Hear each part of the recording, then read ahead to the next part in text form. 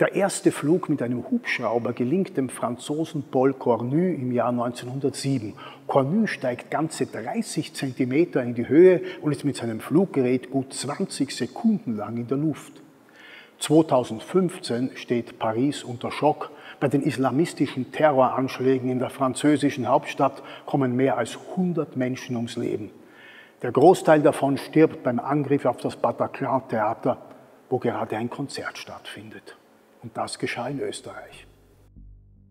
Als Evelyn Jahn am 13. November 1973 die Tiefgarage ihrer Wohnung in München betritt, ahnt sie noch nicht, was gleich geschehen wird. Plötzlich stehen Männer vor ihr und bedrohen sie mit einer Pistole. Die 21-jährige Tochter von Wienerwaldgründer Friedrich Jahn wird entführt.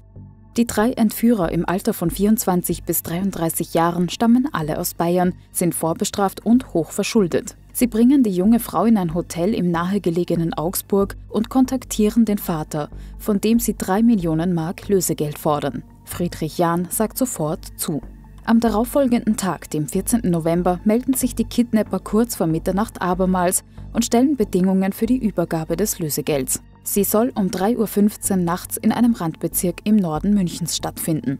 Vor der Verständigung der Polizei wird ausdrücklich gewarnt. Dennoch begibt sich ein Großaufgebot der Exekutive zum vereinbarten Treffpunkt. Rund 200 Polizisten, Polizeihunde und berittene Einheiten sind vor Ort. Die Übergabe verläuft ohne Zwischenfälle. Nach einem Tag und zwei Nächten ist Evelyn Jahn wieder frei und außerdem völlig unverletzt.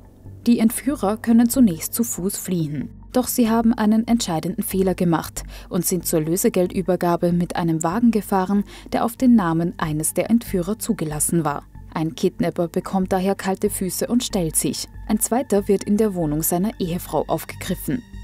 Die Entführer von Evelyn Jahn werden schließlich zu langjährigen Haftstrafen verurteilt. Noch im Prozess hoffen sie auf mildernde Umstände, da sie die Entführte doch mit Kaffee, Toilettenartikeln und warmen Brathändeln versorgt hatten.